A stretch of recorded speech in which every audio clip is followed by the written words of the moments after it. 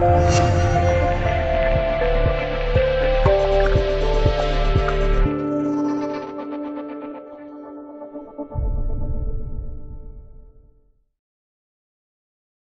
日，国际乒联又宣布了一件大事，这事跟我们国乒关系很大。在最新公布的男子世界杯参赛人员名单中，没有了男队队长马龙，真这意味着我们的龙队正式退赛了。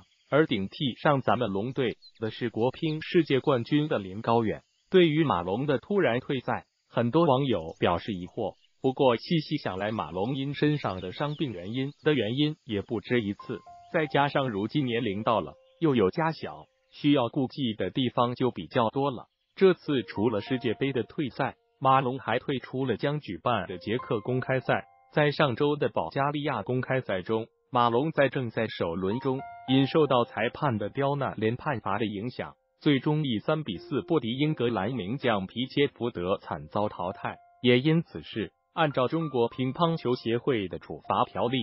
马龙将在下一站的捷克公开赛被禁赛，网友纷纷表示可惜。继乒联最新公布的捷克公开赛参赛人员中有马龙、许昕、赵子豪、朱林峰，如今他们也集体退赛。现如今十月份将要举行的世界杯，马龙又要退赛，小编真心担心龙队的世界排名积分会不会因此而下滑呢？